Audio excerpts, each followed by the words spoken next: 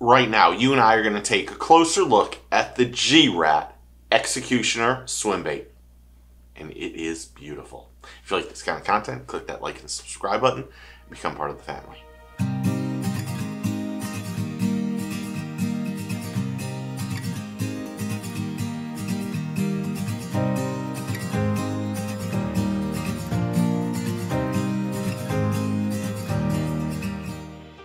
The Executioner from G-Ratt Baits is a collab between them and custom bait builder GCT Baits. The Executioner is a large, soft plastic, thumping tail swim bait.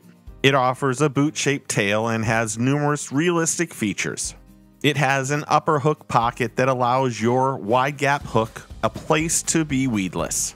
The Executioner has 3D eyes, realistic ventral fins, and comes in several great colors for anglers and it can be fished on both sides of the country. When rigged properly, the Executioner from G-Ratt has great swimming action. You get two unrigged baits per pack. I used a 6-aught weighted beast hook, but it might have been a little small. They are 6 inches in size, weigh 1 ounce, and come in 8 great colors. Retail price is $13.99 for two. For more information or to purchase some on my Tackle Warehouse affiliate, please see the link in the description below. Now my only question on this bait will be how long does it last? It's a soft plastic bait that is isn't the ElaZtech, it's a durable plastic. The fins actually help it keep very stable in the water. It has a great kicking tail and has a lot of action. I think my only problem with this bait is getting it with the correct hook.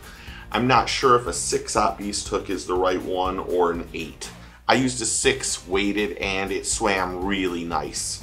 It's a little bit heavy and you need a bigger rod or a heavier rod to throw it, but overall it's a beautiful swim bait in the water and another good bait from G-Ratt. But now you tell me what you think. Comment below and tell me what you think. Remember, take a kid fishing, get your fish on. I'll talk to you very, very soon.